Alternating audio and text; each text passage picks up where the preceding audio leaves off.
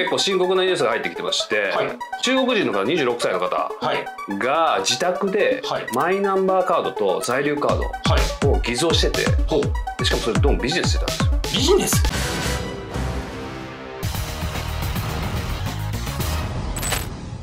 偽造ビジネスと？そう。偽造を作ったものをビジネスして売っていたと。しかもそれ捕まった時に自宅からはマイナンバーカードを偽造のために使われる台紙。大事750枚硬いやつ硬いやつ。データ抜けるようなあのチップついてるやつですよね。そこにもだからえデータを入れられるように。え空のカード？は空のカード。こんなの売ってます空のカード。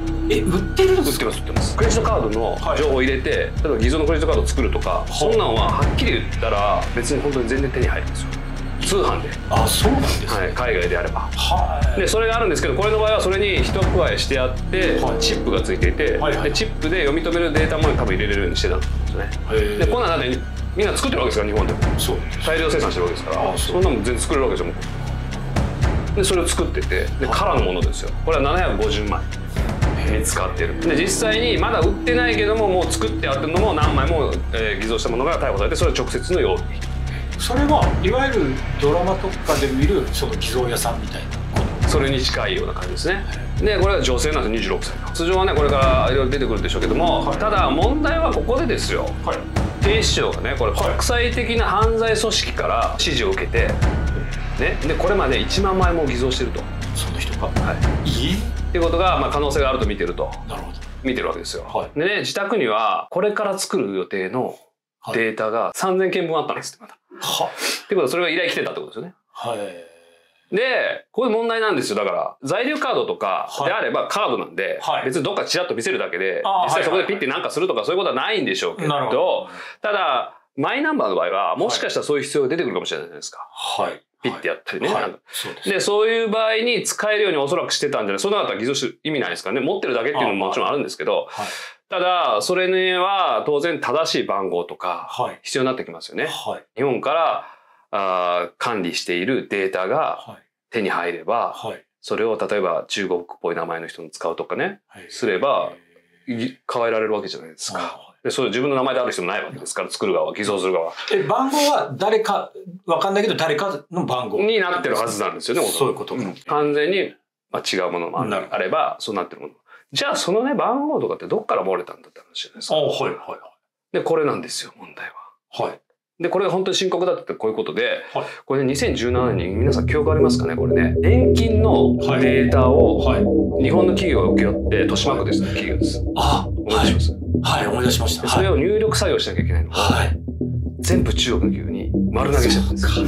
あありましたね。その時に、えー、と問題になったのが500万人分の年金データですよ日本人の。はい。でそれが当然正しい番号いろいろマイナンバーの番号とかついてます、はい。年収情報も入ってます。で個人情報。でこれね中国人はハッキングする必要すらなくなったんです当時。日本人のそういうデータを取るのにマイナンバーとか個人の情報ねなぜかったらはオープンの中国のインターネット上にもうい。えばらまかれてたんで。落ちてた落ちてるでみんなつダウンロード誰でもできるような状況になってた500万人分ですよ。でハッキングしたりとかってする必要ないぐらいばらまかれてたんですよ。あそうなんでそれをいまだ日本政府はそんなことはない。ってこれ本当深刻な話なんですよ。マジっすか。そうなんですよ。ででもねおそらくこのデータがうん。そこに使われたとしてもおかしくないわけですよ。まあその簡単に手が入る手に入るんであれば。ですね。そうなんですよ。ねこれが今回使われたんであればですよ。うん。これじゃあこれまでいやこの漏れてるの確認してとかなんとかってやってきた日本政府のその責任ってまた改めてこれね問われなきゃいけないしやっぱなんか起きた時にちゃんとそこで最後までね、は一応これ調査入ってるんですよ。しかも IBM とかね、はが入って調査とかやって一応やったって言ってるんですけどでもそれはそのデータを中国に丸投げしたはい。会社の社長に話を聞いて、はで彼の言い分をまとめてるだけなんですよ。そこの会社で正規格って会社なんですよ。いはい。ないと思うんですもん。もうないで、この企画、正規企画っていう会社なんですけど、ここね、もっとすごいことに、プライバシーをすごくきっちり守ってる日本の企業に与えられる P マークっていうのがあって、はバッチリ取ってたんですよ、ここ。だから、周りの人たちがビジネスする際に、はいはいはいはいはいあ P マーク取ってるから、こう大丈夫と。いうようなことでこれまでやってきたという。で、今回、その年金の情報すらう、ん。その感覚で中国に丸投げしてるんですから、それ以外のデータだって、確かにね。どこにどこで転がってるか分かんないっていうような状況で、今回のニュースは怖いなと思ったのはそういうとこですよね。これはどうすれば、その法律とかで、データですか？その、どうしたら、外国には出すなよっていうことでね、これね、大学で出すなって一応国からは言われてたんですよ。言われてるだけで別に。ってことで、持ってる側が全く認識ないってこと。ちゃんと、その、会社がそれを扱って自分たちでできる体力ある会社なのか、まあや安かろうで、そうですやらないとビジネス回らないような会社なのか、その辺はちゃんと査定をし審査やらないと、え、でも、刑事罰があったらまた、もちろん、もちろんそうです。それはないってこと？で、今は個人情報保護法案と、保護法とかっていうのがあるので、こうデータの扱いに関しては、はい。あの、多分罪に問われ問われることもあると思うんですけど、うん。ただまあ、微妙ですよね。中国国内でデータが出てたって確認されたところで、はいそれが本当に元のデータと合致してるのかどうかっていうところもそうですし、どういう経緯でそこに行ったのか、因果関係はなかなかつかみにくいっていうね。一応調査結果やってるわけでしょ調査やって、うんで、別にこれは警察がやってるわけじゃなくて。やってみたら、そうでもなかったってことですから、改善策はどうしたらいいんですか？いや、だからおっしゃる通りですよ。刑事罰つけるとか、あの、もうでも今でも、うん、でももっと厳しいものですよ。うんだからデータを流出する罰金ってもっと、あヨーロッパとかそうですね。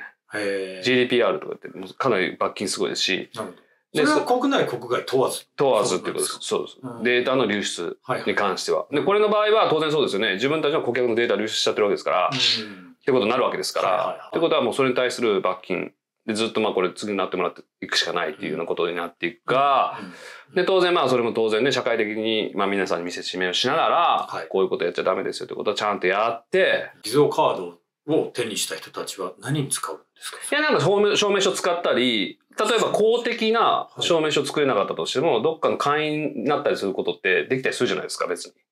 今ちょっと昔より厳しくなってますけど、はい。何か証明が必要なものっていろいろあるわけですよ。あそれこそ銀行口座開きたい時に使う。で、それは多分もしかしたらすごく厳しいとこもあれば、はい緩いとこもあるじゃないですか、銀行にとって。はいはいで全般的には言えないですけど、銀行でもそうでしょうし、なんかそういった何かこう、口座を作ったり、あとは会員に何かになったりとかっていう場合に必要になった場合、見せられる。で身分証明書として見せられる。日本で不法に滞在している人たちが使うとで、これ在留カードもそうですよね。うん在留カードを見せろって言われて、別に警察だったらその場で番号で紹介するかもしれないですけど、はいはいそれ以外のところで、例えば何かサービスを受けるのにうん在留いりますよと、はいカード。はい。見せてください、コピーとかっつって、コピー送ったって彼らは調べないから。